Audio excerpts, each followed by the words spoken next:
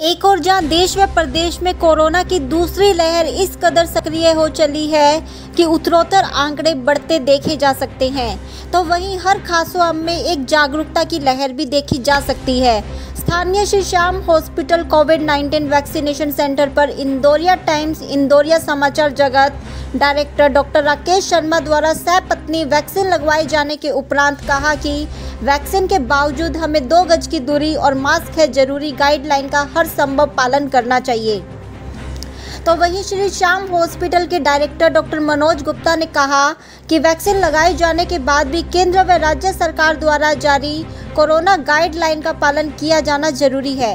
इस अवसर पर व्यापारी सुरेश मित्तल, श्रीमती विनोद मित्तल, वीरेंद्र बिरमीवाल, श्रीमती जया बिरमीवाल एवं फतेह चंद अग्रवाल, श्रीमती चमेली अग्रवाल सहित जागरूक नागरिकों सहित वैक्सीनेशन का दौर जारी रहा।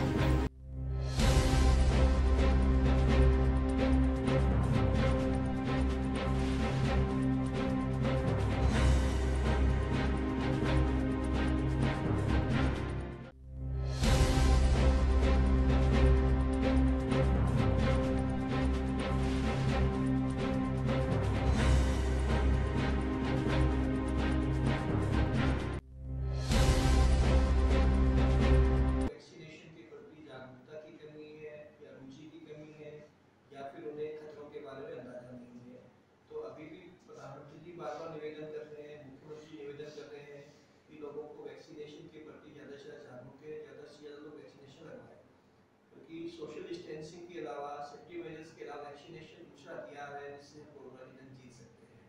तो कोरोना वैक्सीनेशन प्लस अपने प्रिकॉशनरी मेजर्स की मास्क लगाना है डिस्टेंस मेंटेन करना है गैदरिंग अवॉइड करना है, ये सब मेजर्स इस्तेमाल करेंगे तो भी हम कोरोना की जंग को जीत पाएँगे। पहली गाइडलाइन फोर वीक्स की थी, अब शायद गाइडलाइन चेंज होगी।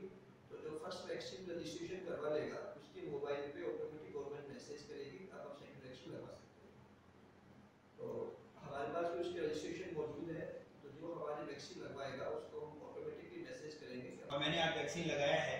श्री श्याम हॉस्पिटल में हम लोग मौजूद हैं। मातृशक्ति के साथ साथ हर एक व्यक्ति बड़ी जागरूकता के साथ वैक्सीन लगवा रहा है। प्राइम मिनिस्टर नरेंद्र मोदी भी ही बात कहते हैं कि वैक्सीन यदि हमारी उम्र डिजर्व करती है तो हमें ज़रूर लगवानी चाहिए। लेकिन इसका मतलब ये नहीं कि हम वैक्सीन लगाकर बिल्कुल लापरवाह, बेपरवाह हो जाएँ। हमें चाहिए कि हम सोशल डिस्टेंसिंग का पालन भी करें मास्क का उपयोग भी करें और हर संभव हम स्वच्छता का भी पालन करें। यदि हम ऐसा करेंगे तो निसंदेह हम कोरोना को जीत पाएँगे। श्री श्याम हॉस्पिटल कोटपुतली क्षेत्र का एक ऐसा निजी हॉस्पिटल है, जिसे गवर्नमेंट के द्वारा अधिकृत किया गया है।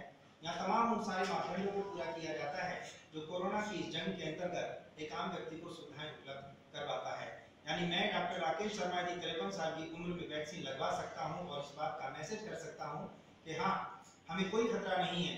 तो जिस तरह की सोशल मीडिया के ऊपर कुछ भ्रामक न्यूज़ आ रही है कि इसके लगवाने के बाद परेशानियाँ हो सकती हैं या कोरोना नहीं होगा, ऐसा कुछ भी नहीं है। आप अपना काम करें, वैक्सीन अपना काम करेगी, निस्संदेह हम कोरोना की लड़ाई को जीत पाएँगे। आप सभी का बहुत बहुत धन्यवाद।